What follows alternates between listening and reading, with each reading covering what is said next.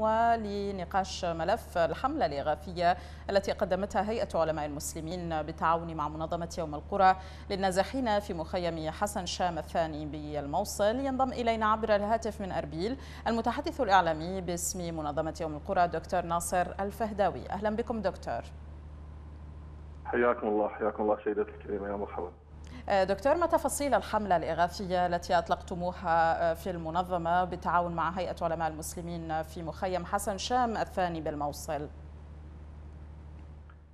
آه هذه الحملة تكملة لحملة سابقة. هي هذه الحملة الثانية بتقديم المنح المالية حيث تقدمتها آه وسبقتها حملة أولى كانت في آخر شهر رمضان المبارك آه لمشاركة أهلنا النازحين العائلات الكريمة في المخيمات بمناسبة ختام شهر رمضان وقدوم عيد الفطر المبارك. بقي هنالك عدد كبير من العائلات النازحة الكريمة في المخيم لم تشملها المنح المالية ولذلك جاءت هذه الحملة الكبيرة بتقديم المنح المالية وقدمت منظمة أم القرى للإغاثة الإنسانية بالتعاون مع القسم الإغاثي في هيئة علماء المسلمين. بالمنح المالية للعائلات الكريمة النازحة في المخيم. وقدمت 500 منحة مالية لتشمل جزءا كبيرا من العائلات الكريمة النازحة في المخيم. ثم ستتلوها حملات قادمة أخرى في الأيام القريبة القادمة بإذن الله لتشمل جميع العائلات الكريمة النازحة في هذا المخيم. نعم. في شهر رمضان المبارك كان الغذاء هو الوسيلة التي يحتاجها النازح. في في المخيم يحتاج الغذاء لكي نعينه على صيام شهر رمضان المبارك على اتم وجه. وقدرنا كذلك ورأينا أن العائلات الكريمة تحتاج إلى المال ولتلبية بعض الاحتياجات الضرورية للعائلة في المخيمات. ولذلك جاءت هذه الحملة بتقديم منح مالية للعائلات الكريمة في المخيمات. نعم. دكتور ما هي أهم التحديات التي واجهتموها خاصة وأن توزيع مثل هذه المنح أو حتى المساعدات الغذائية منذ شهر رمضان كانت في ظل وباء كورونا؟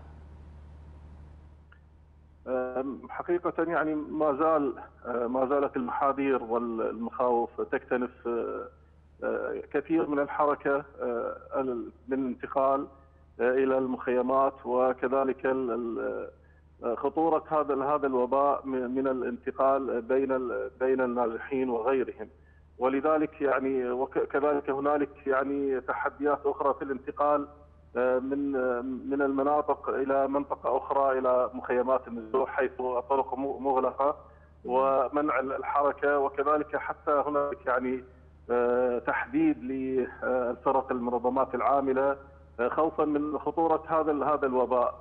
نحن نحترز كثيرا ونتخذ الاحتياطات اللازمة في التقارب وعدم الملامسة وكذلك يعني نشعر بهنا بأن هنالك بعض التحديات من من الانتقال وكذلك المرور بالحواجز الأمنية والسيطرات ولكننا بحمد الله يعني نأتي بإنجاز هذه الحملة على أتم وجه نعم. ونقوم بإيصال هذه المساعدات إلى أهلنا النازحين. نعم.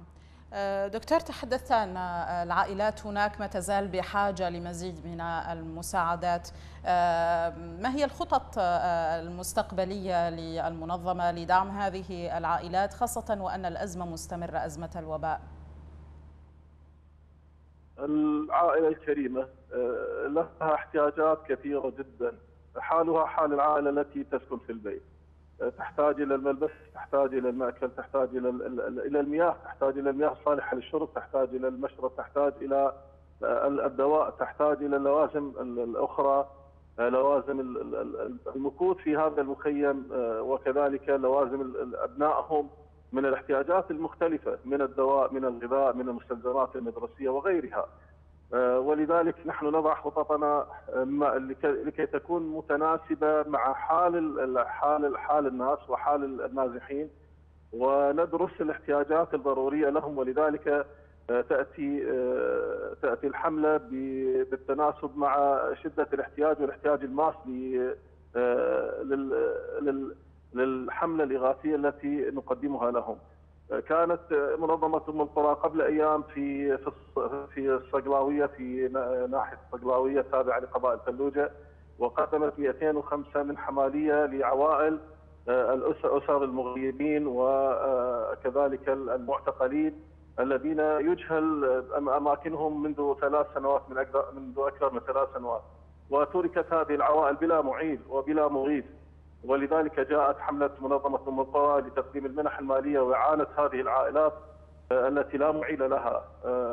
وجاءت كذلك حملاتنا في رمضان وبعد رمضان وهذه الحملات بتقديم المنح المالية. خططنا المستقبلية بإذن الله سيتم شمول هذا المخيم بجميع العائلات الساكنة فيه وكذلك شمول أغلب المخيمات بتقديم المنح المالية لكي نعين اهلنا النازحين ونقف بجانبهم وتقف هذه هذه المبادرة مبادرة أم القرى والقسم الإغاثي في هيئة علماء المسلمين لكي تواصل جهودها الإغاثية لأنها تستشعر كل كل مآسي أهلنا واحتياجاتهم ولكي تكون قريبة وتلامس تلامس مآسيهم ونكباتهم في النزوح وفي المخيمات وفي ظروفهم المختلفة التي يعانون منها.